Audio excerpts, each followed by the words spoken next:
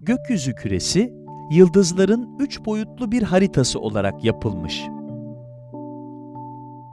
İçinde 16. yüzyılda tasarlanmış ve insanı hayretler içinde bırakan mekanik bir alet var.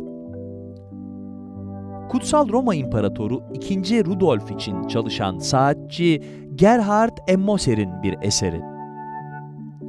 Rudolf, sanatla, bilimle, hatta sahte sanatla da yakından ilgileniyordu.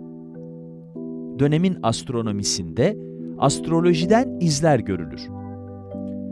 Kürenin üzerinde ustalıkla işlenmiş ve Gerard Mercator'un yaptığı bir küreden kopyalanmış takım yıldızlar görülebilir. Ek olarak yapılmış takım yıldızların ikisi de muhtemelen imparatorun hoşuna gitmesi için eklenmiş kadınlara aittir. Kürenin hareketi sayesinde gökyüzündeki yıldızların herhangi bir gündeki konumlarını görebilirsiniz. Yatay halkada gizlenmiş bir takvimse dönerek zamanın hesabını tutar. Minik bir güneş simgesi hareket ederek yılın her günü için güneşin zodyaktaki yeri hakkında bilgi verir. Kürenin üzerinde bulunan disk ise zamanı gösterir. İsterseniz küreyi kendiniz döndürerek bir yıldızın herhangi bir günde nerede olacağını görebilirsiniz.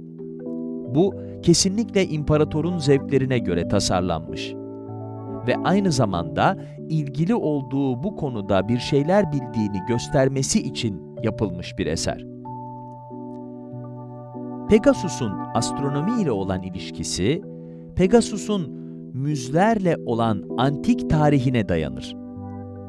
Rudolf, astronomi biliminin geometri ve aritmetiğin kanatları üzerinde durduğu bu şiirsel kinayeyi anlayabilecek kadar zekiydi.